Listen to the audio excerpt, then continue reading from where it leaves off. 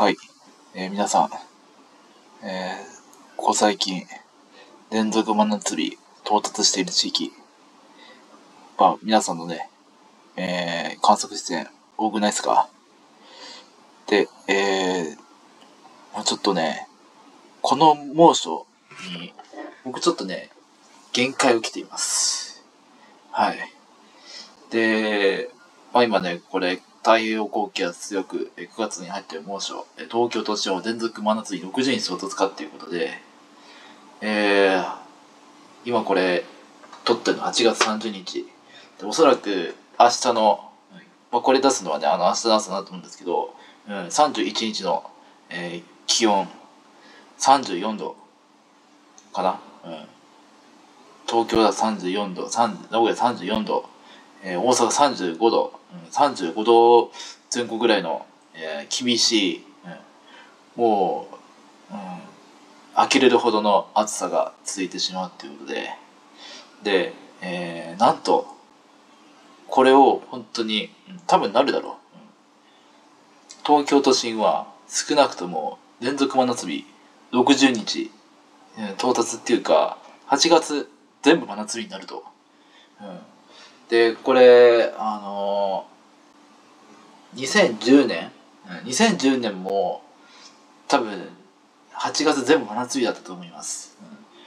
で、そうですね、まあ、記録としては一番最長、なのかな。うんで、7月6日から一回も真夏日を下回ったことがない。で、夏日以下は6月24日以来収まってないと。で、ということはだよ、7月8月みんな夏日以上になると。で、7月は、うんもう29度の日が、ぐらい、28度、27度だったかな。それが1日ぐらいあって、で、5日ぐらいに、1回30度下回った日あったんですけど、7月はその2日間だけ真夏日超えてない。で、それがみんな真夏日以上。で、8月は、さっきも言ったように、全部真夏日。これどういうことですか？ね別にちょっとね、あの、あの、怒ってるような感じになっちゃうんですけど、あのこれ本当にね、なんて言うんでしょう。うん今まで生きてた中でね、最も暑い夏をね、経験したんじゃないかなって。うん。で、まだ夏はね、これ、あの、一応ね、9月からね、秋になるんですけど、季節としては。うん。いや、もう、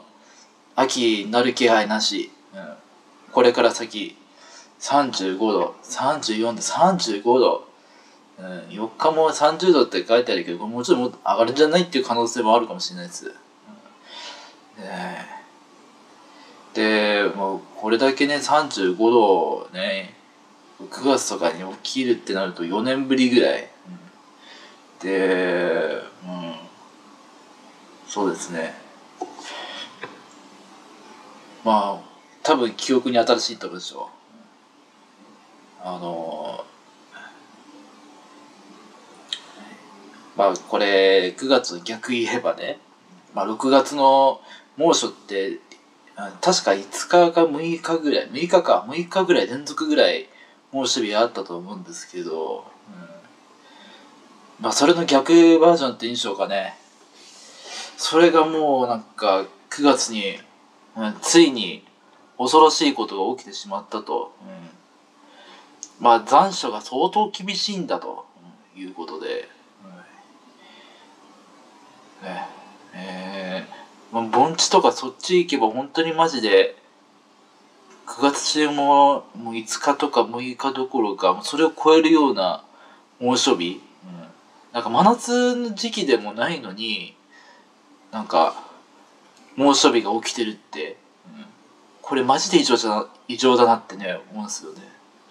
うん。でまあ、東京は9月3日まで真夏日続くと連続60日に。うん。で、7月から9月まで止まらず真夏日って2ヶ月間？丸2ヶ月間続くってなるっていうのは、多分経験したことがない、うん、相当今年なんか真夏の空気が強いんだなって、太平洋高気圧がもうすごい強いんだなって、で今年一応エルニーニョ現象なんですよ、うん。でうん。見たことないねあのエルニーニョ現象だと言われてるって、うん。でここでね、うん、まあちょっと7月が今まで以上に暑すぎた、うん、今今月も今まで以上にに厳しすぎた、うん。基本的にはあんまり変わんないんだろうと思うけど29度から30、うん、まあ1度か0.5度ぐらいの差はあると思うんですけど、うん、それでも両月とも7月8月ともとにかく暑かった、うん、ようこれ今まで振り返って、ね、なんで？っていうぐらい、うん、で7月ねあのここだここまで暑いとなると8月もしかしたら涼しくなるんじゃないかなって思ったら本当に真逆で、地獄のような暑さ、うん。まあ、一定的にねあのゲリラ雷雨とかあってでそれで多少下がったけどそれでもそのゲリラ雷雨起きてない時間帯があってそれで30何度とかね上がってたりとかね、まあ、そういったようなことがあって、まあ結局ねあの1日の気温がね30度超えてしまったと、うん、いうようなことが、まあ、多々ありました。うん、というか全部そうだ。全部もう真夏日だから、ちょっとね今年は、うん、残暑の展開に関しては予想外だなって思いました、今年も全体的に気温高いし、ね。なんか今年のね6月7月も後半とかうん暑かった日あったけど、うん、なんかそれよりもなんかものすごい暑いっていうかね、うん、なんかそれ舐めてたなって、うん、なんかここ、うん、舐めてたっていうか、うん、なんて言うんでしょうね、うん、なんかあその時点でちょっとあもう暑いくらいだったから、うん、8月なんかちょっと涼しくなるんじゃないかってちょっと舐めてたんで、うんね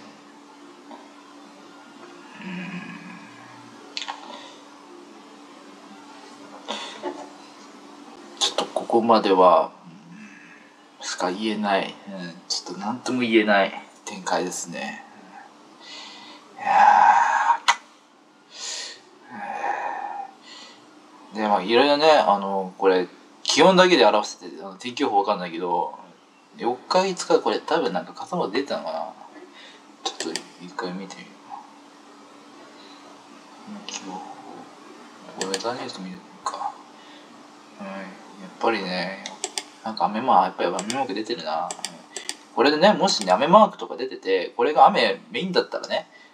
確かに気温は、うん、下がるかもしれないけど、これはあの予報がね、晴れマークと変わったらね、普通にあの猛暑になりますからね、うんおそらく。うんつか32度になってるな。これもなんか、うん、最悪の展開出そうな気がするんだけどね。しかし、この時期にして気温高いなって。ねこれまだね、あの、逆に言うと、さっきみたいに6月とかね、6月末とか7月ぐらいにね、この気温だと、ああ、もうこれが夏来たなっていうようなね、うん。まあちょっと覚悟はあるなって思うんですけど、もうこの時期にね、この気温見ちゃうと、ね、さすがに、なんて言えばいいんでしょうね、うん、呆れるっていうか、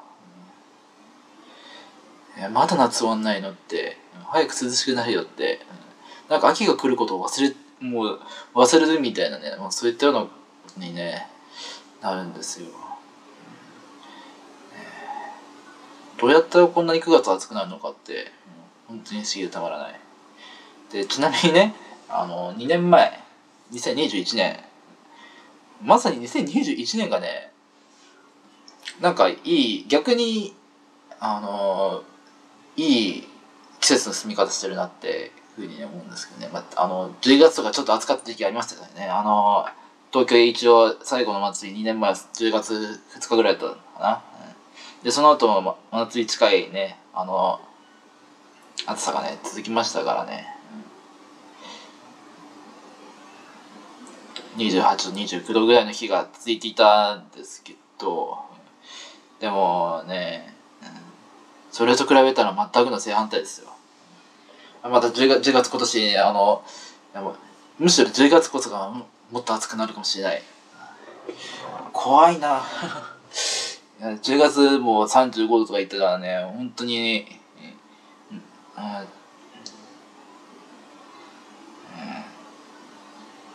まあ、ね、あの、あの世に行くまではいかないですけどね、もうちょっと、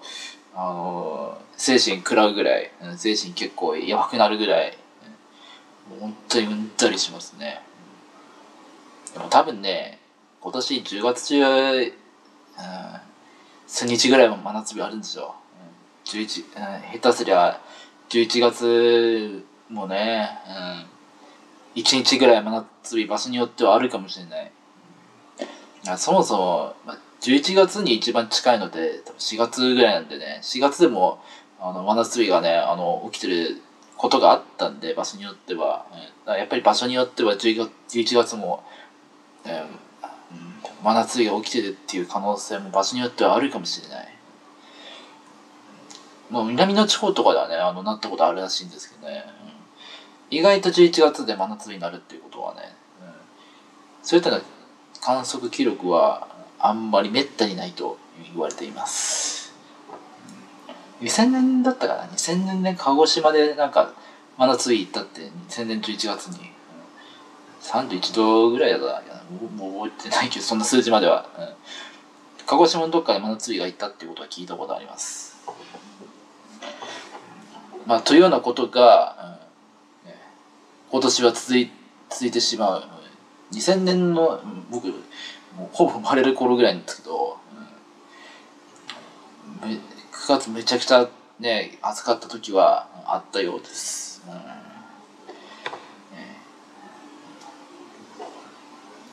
特にあその年の9月って確かトップ、東京でもトップクラスの気温いた時ありますよね。9月 2, 日だったっけな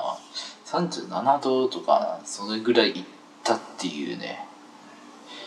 で、まあそういったようなことが、もしかしたら、それとも超えるような気温が、1日、2日、3日、うん、少なくともこの 3, 3日の間に出てくる可能性はあるんじゃないかなって、これああっさり言うのはね、うん、あんまりこういうことは考えたくないですけど、今年は起きてしまうんではないかと。猛暑日の最多の記録って9月何日だったっけ？覚えてないけど東京は都心は。5日とか6日があんまりなかったね。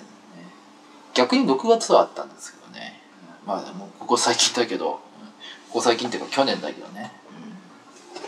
それを意外と、それでも猛暑日の数は、6月の方が多分勝ってると思うんですね。でももしかしたら今年はちょっと、それを超えるような日数になるかもしれないですね、9月は。うん、もしかしたら10日ぐらい猛暑日が続くっていうね。名古屋とかそこら辺とかもね、やっぱりあれそうですね名古屋が一番気温高い場所ですかね大阪もそうだしでまあちょっとね、これだとね、まあ、思ったより気温はちょっと抑えられてるけどそれでも32度とか33度とか、うん、9月からの厳しい暑さっていうのは、ね、これ続いてしまうと、いうことででまあ12日になってやっと30度のの締めがここで来て、これもしかしたら、もしかしたら32度超える可能性もあるかもしれないですね。うん、30度。うん、まあ、気温の範囲で考えるとね。うん、まあ、一回ここで12日切れたとしても、これ以降もしかしたら30度予報がバーで出てくるかもしれないですね。まあ、普通に、ありえそうですね。で、これね、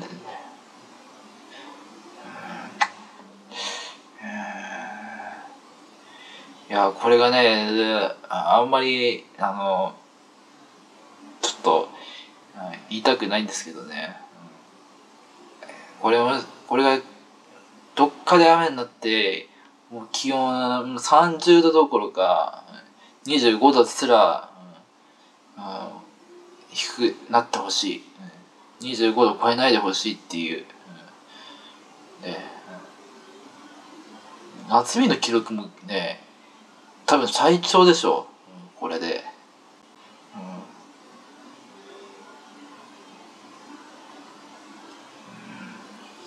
まあ、そうですね。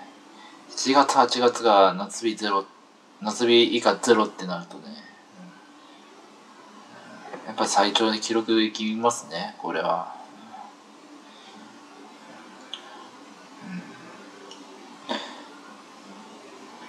あもしかして、なんかね、